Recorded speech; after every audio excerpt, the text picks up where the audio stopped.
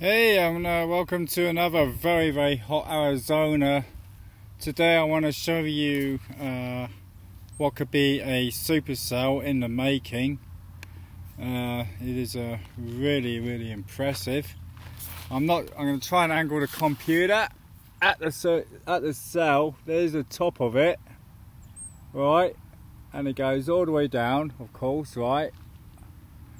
But if you look, there's an either if you look at the contrast between the blue it goes that cloud goes even way further up. And uh, that is two different uh, uh, clouds mixing it up you know. Um, again uh, it's uh, pretty dangerously hot right now in Arizona.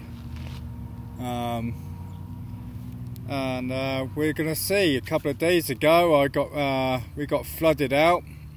If you look at my other previous video and uh, I think that we could be having the same thing again.